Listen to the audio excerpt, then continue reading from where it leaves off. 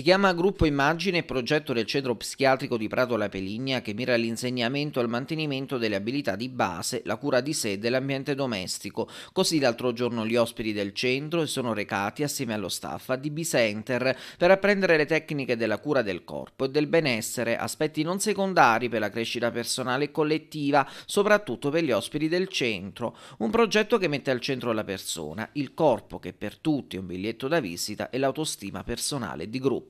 Attività di gruppo che prende il nome di gruppo immagine eh, attraverso il quale avviene l'insegnamento e il mantenimento delle abilità di base quali la cura de, di sé, dell'ambiente domestico, cose che in realtà sembrano di, ehm, di semplice natura in realtà poi diventano complessi in contesti come il nostro.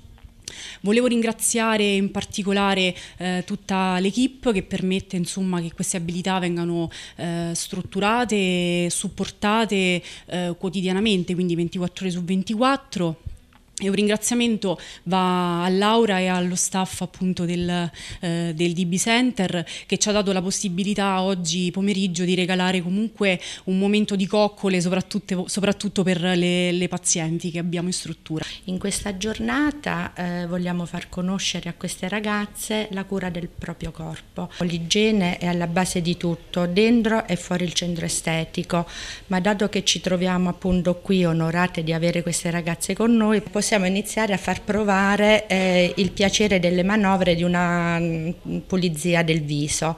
È molto importante la detersione e l'applicazione poi successiva di maschere, di fanghi, di creme idratanti, riequilibranti. Avere una pelle appunto idratata, pulita è un miglior compromesso per una donna. E poi ci prendiamo anche cura eh, delle mani di queste ragazze, ci prendiamo cura mh, mm, del, di un piccolo trucco e ringraziamo di nuovo eh, la struttura riabilitativa.